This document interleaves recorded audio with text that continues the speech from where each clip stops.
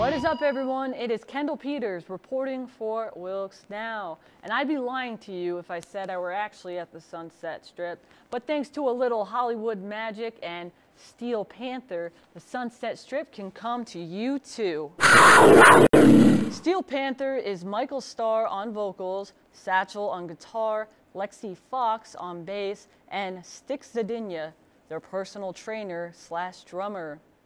They have established themselves as the world's premier party band, melding hard rock virtuosity with parody and criminally good looks. When they are not in the studio recording top charting albums, such as their four Billboard number one comedy debuts, they are on the road keeping the metal scene alive and well. This time, even bringing the Sunset Strip with them. And not only did I get a chance to see this show live, I also got to sit down with bassist Lexxi Foxx to discuss the tour. For Wilkes Now Television, I'm here with Lexxi of Steel Panther at the Sherman Theater in Stroudsburg, PA, awaiting a show. First of all, Lexxi, how are you tonight? Fantastic. It is good to be back here again. Um, yeah, we, we, we're bringing a new show called uh, Sunset Strip Live, and what we're doing is bringing back the whole '80s thing. I'm just we're going to have some of our own songs, which we you know are used to doing on touring, which is that. And um, we're excited to bring a new show here. You know, with some songs that, that from bands from the '80s. and You know, Whitesnake, Cinderella, Dokken Europe, uh, Van Halen, all that kind of stuff, and mixing it up and just um, bringing a brand new show. So we hope people dig it, and it seems like they have been all over. So we're excited to bring it here. And it was a sold out show that night in Stroudsburg. The band played a mix of covers and originals. The crowd sang along either way. Generally speaking, anyone looking to have a great time will do so at a Steel Panther show. The performances are jaw and panty dropping as Michael, Satchel, Lexxi, and Stix keep the crowd entertained all night long. That night, Satchel also kept the audience in check. During the performance, some jabroni threw his beer from the side stage balcony and it landed right in front of the guitarist. Satchel himself got that loser kicked the hell out. And then he let everyone else in that audience know there will be no more wasting alcohol when Steel Panther is in town. The band was tight that night, just the way that they like it.